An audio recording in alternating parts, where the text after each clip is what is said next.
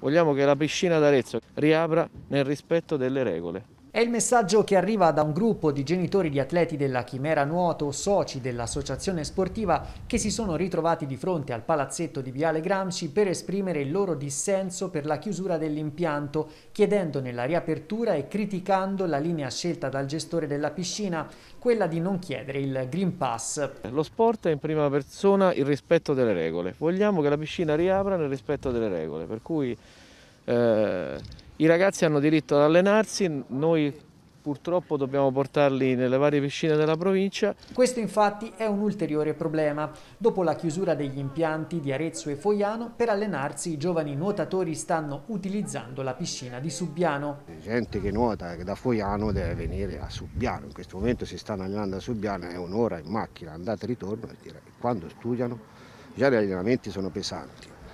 Sono ragazzi che vivono solo per il nuoto, studiano e nuotano.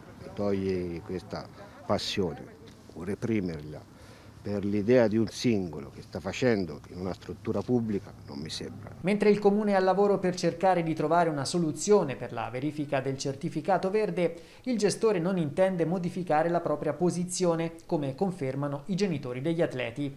Ho parlato venerdì sera con lui fuori dalla piscina di Fogliano con l'ennesima chiusura, ma niente, quello che sapete, che ha detto a voi, è quello che dicono i genitori.